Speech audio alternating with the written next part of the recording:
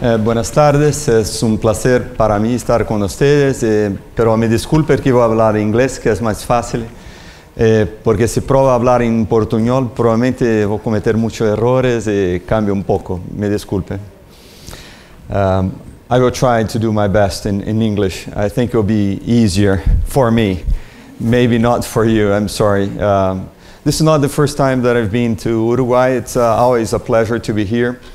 So um, I hope we could learn from each other from the experience that we'll share. It's not my own experience, it's an experience that I share from my works uh, from different parts of my life and also from different groups, um, teams that we have been working in Brazil. So this is a little bit uh, of what I'm going to say, a few things about the University of São Paulo, how we are working on circular economy, as part of also as a pioneer university from Ellen MacArthur Foundation. Uh, some of the challenges that we're facing, very similar to Uruguay, al- although we are a little bit bigger, as you know, uh, uh, in terms of size of the country, economy. But there are a lot of things that we could do together and learn from each other and, and design our own, I would say, journey together a journey from Latin America, a journey that we could uh, hold hands together and do something together and write our own stories. So, but I will share with you some stories from Brazil, the stories that we have been working with, not uh, stories from Europe, but stories from here that we could share. No, this is the thing. W- w- This is the uh, interesting chart that says inequity or inequality is unsolved. So uh, you see that the um, the line in red is the number of the 62 richer people in the world, which represents 50% of the uh, wealth of the world. So it's, it's widening the gap. This is not different in Brazil. So this is an outskirt of a favela in Brazil with a very fancy neighborhood. We cannot live on a situation like that because we are just widening the gap. So we need to also to tackle some of these issues of um, this wide gap that is widening and widening. So at the University of São Paulo, we are working on, uh, as part of the Ellen MacArthur Foundation, to create a platform that we could help from the foundations or from the different, let's say, schools of thoughts. As, as you know, we are in a journey. We are learning uh, from experience. We are learning from the different schools of thought that comprehend the the, the theme around circular economy. This is why we have so many questions, because probably I, what is my entry point? It is industrial ecology or symbiosis, uh, it is um, life cycle analysis, it is uh, material flows, system dynamics. So we are combining these different lines of thoughts around circular economy. So, and we are designing our own framework, and this is the framework that we are working in Brazil. So, in the center is the system, the, the vision of a system. I think we are sharing this all together. Oh, several of the speakers previously here were saying, well, we have to look at the system. This is what we have to look, and, and how we are complementing with different solutions that will be specific maybe to Uruguay, to a specific sector, or to Brazil, or to Argentina, to Peru, Colombia. So this is some of the examples that I will share with you. They, uh, the organizers asked me to be very specific on the cases. So I will start one, with uh, one case from the Amazon, from one particular um, uh, tree or palm tree, very well known, probably that you know, is acai. It's a super berry. It's a like very dark berry. So we have been working in the Amazon with the acai project. Um, several projects in agriculture, because probably we have a lot in common uh, in terms of agriculture. Uh, textile, uh, one project in paper, uh, one project with the National Confederation of the Industries. Uh, I'm not sure if you have the same organization, but this organization encompasses all the industry in Brazil. And, and finally, uh, um, program to accelerate the accelerators. So, and I will share with you what does that mean by that. So, as you know, everybody was saying we need to think on what is going to be the next steps. Uh, our colleague from Wageningen said, and the other one said, we need to feed the world, but what type of food do we have, and how are we going to be producing the necessary food and quality? How many of you, for example, have you been to a farm? Can you raise your hands? Good. How many of you are farmers? One or two. Do you think it's easy to produce food? No? But we're expecting food to be cheap, right? To provide environmental services, to set aside land for nature, to do things for, uh, let's see, for the environment, to conserve pollinators, to do everything. So we're expecting a lot from the, from the farmers, right? Are we expecting the same from the oil companies to do the same? No, but we're demanding that the farmers deliver everything, right? So cheap, organic, volume, quality, safe, everything. So it's a, it's a daunting task for farmers to do this altogether, and we're expecting too much. And, and uh, are we willing to pay when we have uh, some problems in the agriculture to pay a little bit more? And how are we going to be producing food if we don't have water, if we have uh, climate change, and if we have uh, instability of prices, and we have a uh, shortage of several of the fundamentals? So it's not simple. So what I'm going to do in this case is to illustrate, uh, I will use um, some of the building blocks the foundation is using, which is, I will explain this briefly. So, and, and previously, um, I think some of you already share. So I use the building blocks of circular economy, starting from design for circularity, business models, reverse cycles, and then the enabling conditions. Enabling conditions could be policies, could be technical enabling conditions, could be something that supports uh, the transition, okay? So in each example, I will reemphasize what are specifics of each of these building blocks that we are working towards helping or towards uh, supporting the cases. So I will use this as a framework to analyze or to help or to transform the examples that I'm sharing with you. It's okay? So this is the acai. Acai is a typical palm tree that occurs along riparian corridors. Riparian corridors is where the river uh, streams so we have a very fragile ecosystem because this is where the entry point towards deforestation. So on the, on the other hand, acai is the substance of keeping the nutrient flows in the biological cycles.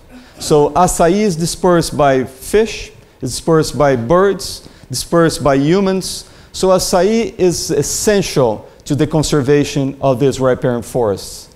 It is essential for local communities because 95% of the total acai produced is coming from extractive uh, practice. So, and all the acai that we see in Europe, in California, Florida, Brazil, they're coming from natives or local communities that are rely uh, of their incomes based on this palm tree. But these guys are totally, I would say, away from the market. Sometimes one guy that is living near a river, it takes two days for the guy to deliver the acai towards a market or towards a third, a, a third guy to a fourth, or it's a long and very incomplete value chain. So we are designing uh, solutions and help these guys to communicate directly with the buyer. So through an app and, and tracing the acai from that. So because we have multiple products uh, and we have a huge demand on, on adding value to acai, so it's not only the pulp of the acai, frozen acai, which is very cheap, so we have to transform that into something that is much more valuable and the value should stay with the ones or should be transformed into something, into quality of life for those that are living nearby. So this is the type of cycles that are, we are working also there. So we are trying to, for example, integrate the production and increase what we call through um, restoration projects of acai plantations, managing better, uh, use all the co-products, using the oil that no one is using. Anyway, using the system as a much more integrated way rather than just managing one palm tree, but managing the system. The other example that I will share with you now, it's about agriculture. I will give you more examples and more details about these cases. If you want, I could send you each uh, specific case in details. So just bear in mind with me that it will be a, a quick journey through these cases. But the, the data and information is available. So now, um, we are very much looking at solutions that will be managing complex landscapes. Because when we talk about agriculture, we're talking about environmental services, we're talking about managing water, managing the soils, produce fiber, produce food, produce bioenergy, as the BioValor is about, right? So we have to add value to the landscape. And we're not managing a crop, we're managing a landscape. I tell my students, agronomists mainly, to say, you're not an agronomist, you're managing the landscape because you're making, you're making decisions about what you're going to be planting, or why you're planting, or why you're deforesting, why you're doing that. So farmers and, and agriculturists and agronomists and foresters are managing are managers of landscapes. We have to see a landscape as your asset. So, and how can we do this? How can you integrate value chains? How can we convert that into a product as a service? Uh, can we have industrial symbiosis? This is what BioValor is about, is putting together the pieces that are isolated. So can we have a complex landscape like that? This is beautiful when we see this in, in Tuscany or in France, but move to the Amazon, move to an isolated place in Uruguay. It's easy to say that because farmers in Europe receives a lot of subsidies. It's easy for me. It's easy uh, for me to say back in, in um, Brussels because those guys are, are fighting for keeping their subsidies in, in place. But what about the small farmers, those guys that do not have access to market, those guys that do not have technology, those guys do not uh, know or do not have access to technologies that could improve their ways of, of producing. So the challenges uh, for Brazil, for example, is huge. Um, this is the number, the recent numbers of agriculture in Brazil. We have 34 million hectares of soybean. Do you know how much, uh, uh, what is the area of pasture land in Uruguay? You should know. BioValor should know because it gives you the, the perspective of the potential of producing manure or producing cattle. What is the area uh, of uh, pasture land in Uruguay? Number of heads. Number of heads of cows.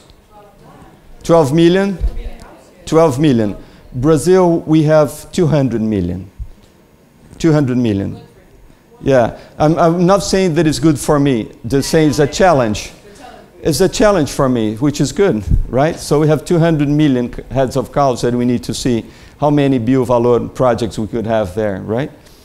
So sugarcane, we have 10 million hectares. So just to give an idea about the size of the uh, agribusiness economy in Brazil. Forestry, mainly eucalypts, as you're having here also a couple of uh, large projects. We have uh, about 9 million hectares of eucalypts. But look at the area of pasture land in Brazil, 170 million hectares, which is almost three times the size of annual crops. So we have huge opportunity to do something and integrate that. So this is an example, the photograph is an example of integrating what the guy from Wageningen said in theory, we're doing in practice. Integration of pasture land with production of fiber and cattle. So we need to provide these numbers because if, if it doesn't make sense in economic terms, circular economy will not have any impact to transform agriculture. So we need in agriculture and farmers are risk averse. No one likes innovation truly, right? because innovation poses challenges. We think that we love innovation, but when you go to the market, people are risk averse. Right? And, right? It's easy to say for Google, it's easy to say for a large player that they would like to innovate. But go to a small and mid-sized enterprises that do not have the cash flow to pay uh, the employees or to play, pay their debts. It's hard when you think about small scale enterprises. So, and this is another example that we are combining the production of fiber with wheat, which is managing uh, this, this landscape in a much more, I would say, smart way. So I will give you three examples because the solution for managing complex landscapes does not come with, from a single lens. We have to combine multiple options, several options altogether. It's easy to say that we need to save water, that we need to uh, fix uh, the issue of nitrogen leakaging. It's easy to say, harder to implement. So to implement, it is a combination of multiple actions together in a system. So the next slides, I will share examples that are not the panacea, but they complement each other. So one, is, one example is how to reduce the use of agrochemicals, especially insecticides. The other one is about increasing the lifespan of parts and machines. And the other one is providing the right incentives for innovation. Three examples that are combined that probably will be pieces of this puzzle. So the first one is how can we use uh, drones to deliver biological agents in the field? Instead of, uh, because one of the problems of using biological control agents, replacing uh, insecticides, is about the scale. Because when you think about scale in Brazil, and you see a farm that is 1,000 hectares or 2,000 hectares, how can you cover distributing biological agents? How many of you are aware of biological agents in soybean? How many of you heard uh, of any company that is uh, deploying biological agents in Uruguay to substitute insecticides, for example? But in Brazil, Brazil is, has a position of being the leader in the deployment of biological agents, especially macrobiological agents, which are small insects. And then we have uh, microbiological agents as well. But this is the use of vents to deliver, first we need to, to have the intelligence. The circular economy is about understanding the problems, understanding and having the insights. Without understanding the system, you cannot say that you are circular because you need to understand this in a much more integrated way. So this is one of the solutions. It's not a, a solution based on a company because this company has several other, I would say, enterprises together. A company that designed the device for these agents, for the small insects. So there is one company that designed the device to precisely drop the number of uh, agents per area. Another company that is designing um, or that is producing the biological agents. Another company that's providing the ground truthing for that, and then the drone. But this company, as you saw just before, look at the chart on the middle. The, this is affecting the design of the system or the design of the, the service. It is affecting the business model and is providing the enabling conditions. Not into the reverse cycle. This is more applicable to the three building blocks. What do I mean by that? Their, the initial idea was to sell drones. Now they're selling service. Service paid by hectare that they're covering. So we're switching their business model to sell the service. Now I will give you an example about another company from a value chain that you are very much aware. Um, sorry. So this is the value chain of sugarcane in Brazil because we are also using the value chain approach to understand it as a system. Uh, in, within the system that is providing ethanol, sugar, bioenergy, bioplastics, uh, biochemicals, uh, carbon credits, uh, sugar is already, sugarcane is already producing around 30% of total Brazilian energy already. Um, but in addition, the, the entire system now, because of a policy that prohibited burning sugarcane in Brazil, there was a policy that prohibited sugarcane in Brazil uh, 15 years ago. So the policy said by um, 2015, all sugarcane should be mechanically harvested by these machines. These machines cost around $1 million each. So very expensive machines. But the most fragile parts of these machines are the knives that cut sugarcane. Instead of cutting sugarcane with the hand, with the large, uh, I don't know the name, um facão, como se disse? In his, huh? O machete. Instead of cutting with the machete, we need to cut with, uh, with these machines, which cost a million dollars, but each knife of these machines, if it is damaged, costs only five dollars. So the fragile part of this machine are the knives. What these guys are doing is uh, it's a startup that is, has been focused on the, a process what we call laser cladding. Laser cladding is the deposition of a mineral powder through lasers, very potent lasers, to design new metals or to produce uh, um, a metal that is much more res resistant. But these guys were thinking about selling knives to these machines, to these companies. What they did, initially, they were looking at increasing lifespan and also reduce operational cost of these machines that uh, when these knives broke, these machines that cost a fortune, they have to be replaced or repaired. So what the solution is, they are designing not only the blades, but the platform. So they are renting the platforms as a service, not selling the knives. So they redesign and they are shaping new knives and producing knives that last longer. So instead of selling, they're renting also.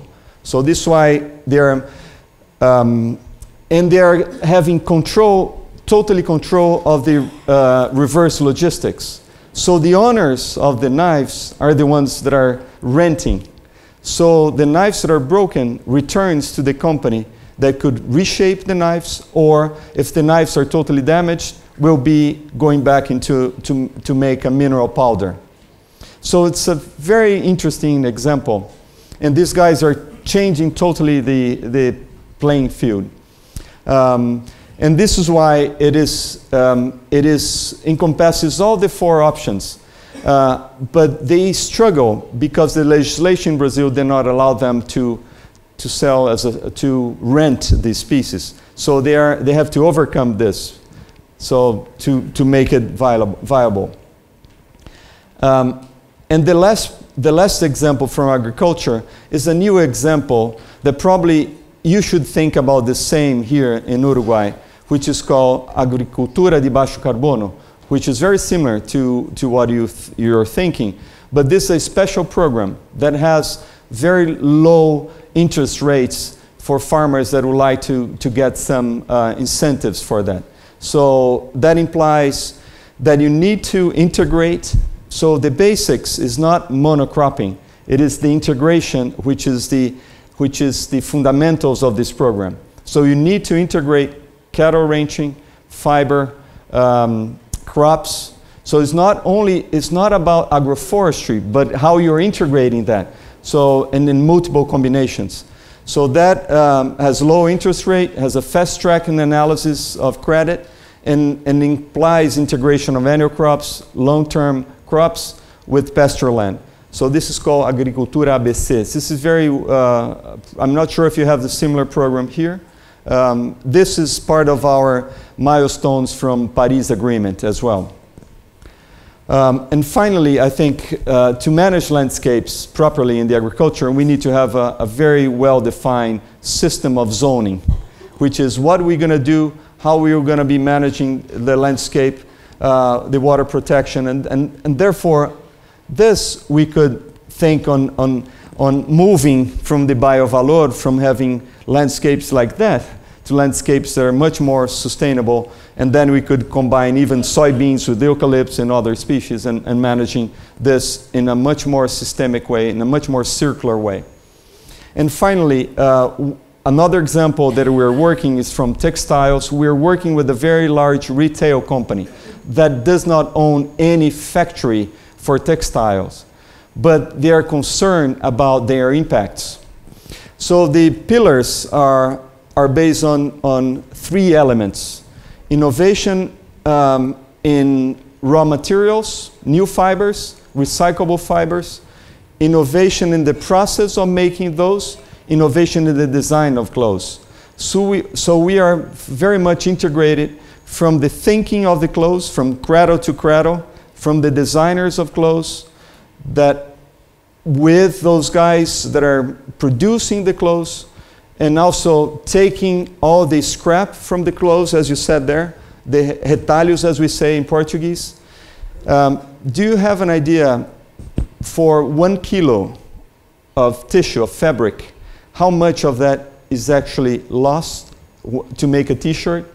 If a t-shirt wears one kilo, how much actually is transformed into a t-shirt? How much uh, of the raw material that enters into a, uh, into a fabric, uh, into a, a plant? Do you have an idea? How much is lost in just this, just this, uh, where is the pointer here? Doesn't work? So this is when you have um, tecidos planos, que ustedes llaman, see? So the flat tissue. If it enters in the process of cutting, this, this amount here is what it is left. And then you have to defiber and to make another fiber and to make clothes. Just this piece here, we are losing around 30% just on that. So we cannot afford, and this is, generates a lot of uh, residues which are not residues, which are assets. Assets for industries that are not well developed. Because those guys that are defibering or producing this, they have very low technology. And the value chain is totally fragmented because it's very manual intensively. The, the guy needs to collect from one plant to another one to another one. It's totally mixed together, the residues, so there's no value. So the company that is producing, not selling the t-shirt, because the company doesn't produce a t-shirt, the retail company doesn't produce a t-shirt. And in fact, today, uh, this company is launching the first store here in, in Montevideo, which is Grupo Renner. So I'm, I'm working with Grupo Renner. This is a project with Grupo Renner. They don't advertise this yet, but you'll hear this probably in the next two months that the CEO will advertise this program. So the Grupo Renner doesn't produce uh, one single t-shirt, but they are concerned about their impacts, which is very genuine. And, and we have been, uh, will be, this is a three-year project, so very interesting project. But the first thing that we had to convince was the designer of clothes that they could be using recyclable fibers. They are not as soft, that is not as uh, perfect as a virgin fiber. So we changed the mindset also of the designers. So that needs to be very systemic within the, the, the company. And then finally, uh, a product that also has an implication with Uruguay. We are working with unbleached paper, a paper that is not bleached. Uh, a paper is very specific that has very little, I would say, impact uh, based on, on, on the life cycle uh, analysis uh, and beyond the life cycle, uh, a, a, typical bleach paper, um, which is um, a bleach paper which is dark green, uses more trees, uses more energy, uh, emit much more sulfur dioxide, um, more greenhouse gases, more nitrogen oxide, uses more water, and produces more waste. So why we're bleaching paper for things that doesn't need to be bleached?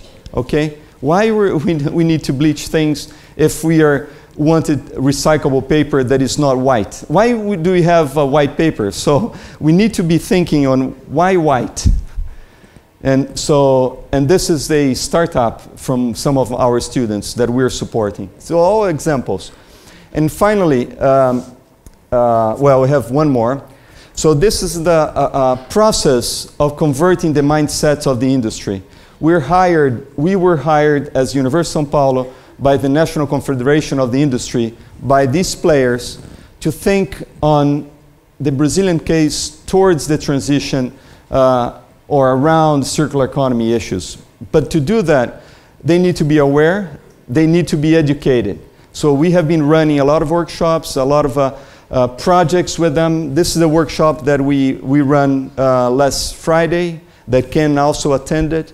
So we need to provide to the industry to show that there is a value around circular economy concepts If they don't understand what circular economy is about, how come they, these guys from the industry in Brazil would embrace that?